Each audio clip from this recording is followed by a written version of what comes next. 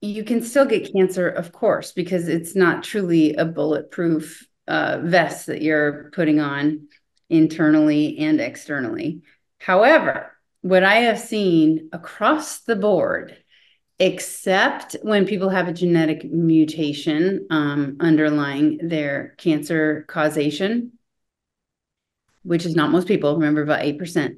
So when I see someone who has really been following the whole food plant based prescription along with exercise and sleep and social connection and um, avoidance of toxic substances, including and especially when it comes to breast cancer, alcohol, and they still get breast cancer. Okay, I have an ever growing number of women with these cancers that if you just gave me the path report blinded to age, I would say, uh, is she 110? Like, this is a little old lady, lazy cancer that if you had never diagnosed it, would never kill this person until she's 250. So even for the best of us currently doing what we do on earth, no one's making it to 250, right? And honestly, like literally today, I got a path report from a lady who flew down from Seattle um, because she it was whole food plant based. She's ripped, like envious of her biceps. Um, she's 53 and came to me though actually crying and scared because she felt this lump. It was so tiny and it was ultrasound negative. I could feel it. It was this little big between a pea and a marble, like that size. And I would, so I knew exactly where to go, held it between my fingers, put the ultrasound probe down, and it wasn't there. And I biopsied it anyway. The biopsy came back invasive breast cancer, but it was a subtype that's tubular, behaves almost like a stage zero in situ cancer, through the roof with estrogen receptors, which is what a less aggressive, more curable breast cancer will show. But here's the key the division rate, the percentage of cells that were actively dividing, so one becoming two under the microscope, was I- would never seen this less than 1%. Like I've never seen a number that low. I've seen actually a couple of 1%, but this was less than 1%. This thing is so slow. And what that means is in a 53 year old is that less than 1% of the cells are duplicating over about a three to four month period.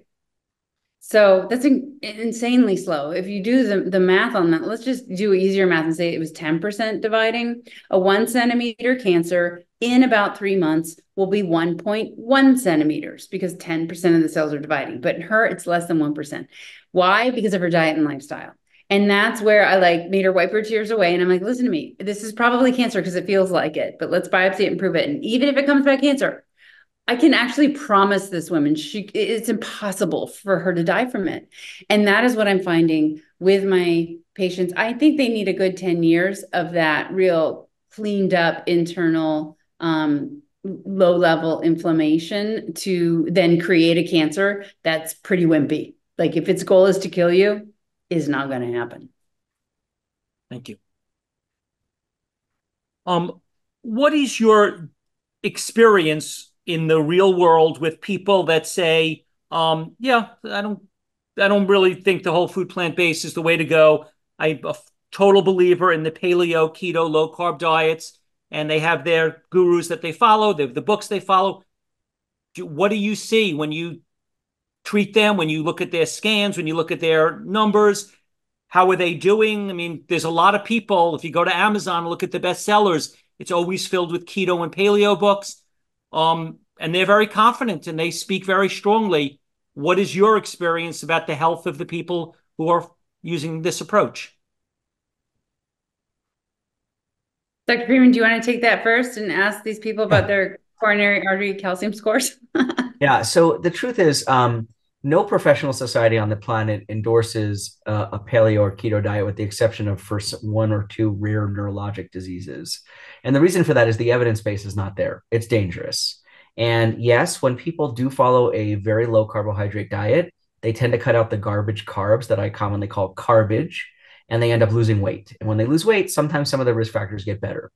There are some people that I know that can somehow subsist on this diet, although they are probably markedly increasing their cancer risk as they eat things like bacon wrapped scallops every day Um, you know, scallops in themselves are very high in cholesterol, and bacon is considered to be in the same category as cigarettes by the World Health Organization for its cancer causing.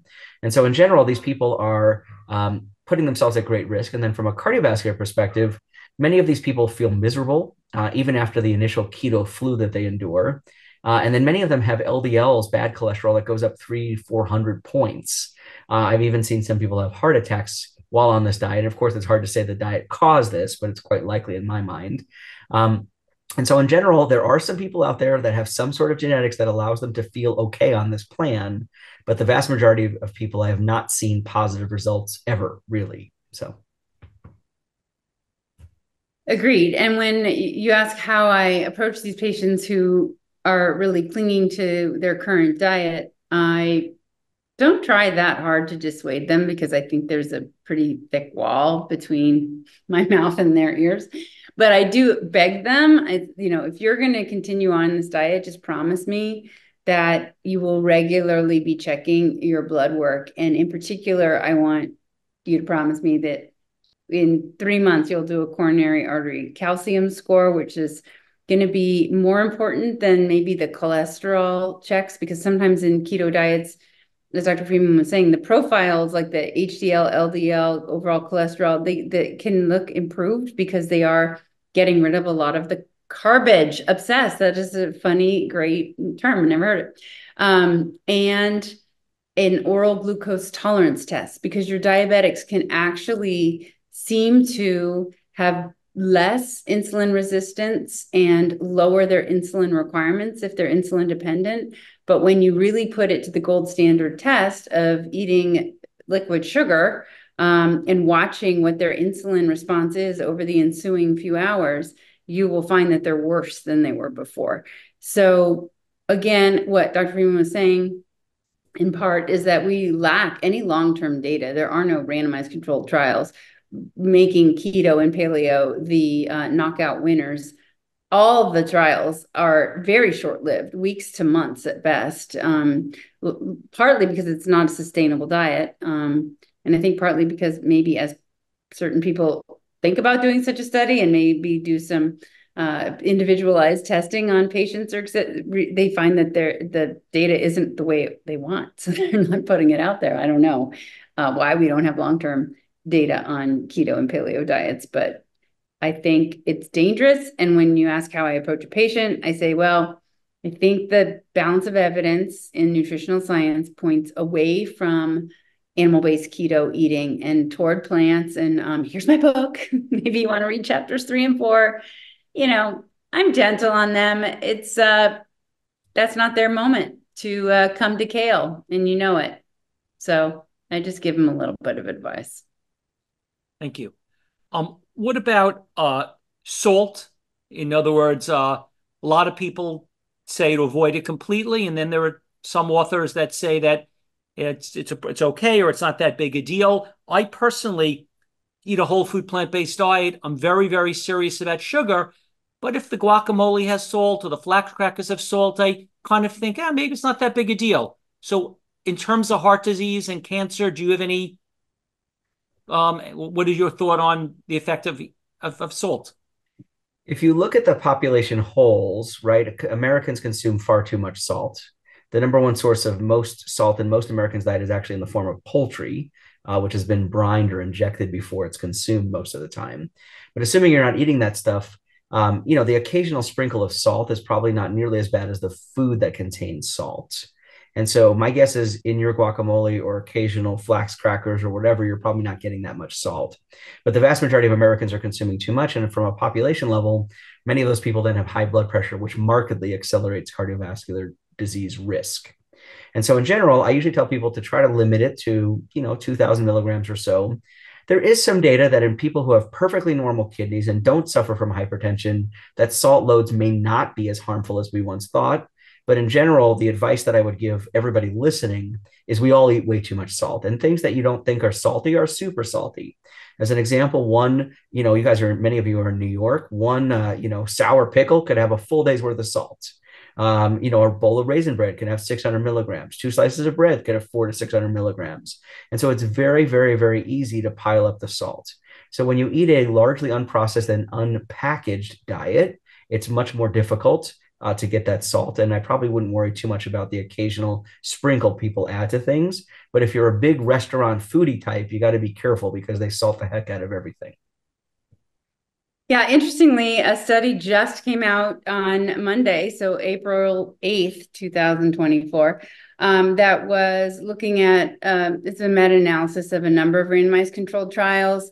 And they showed that um, people who use salt substitutes, and by the way, the substitute was 25% potassium chloride, 75% sodium chloride. So interesting because you're still, sodium chloride is the bad one, right? So um, it still was heavy on the on the salt salt when we were talking about salt, the sodium.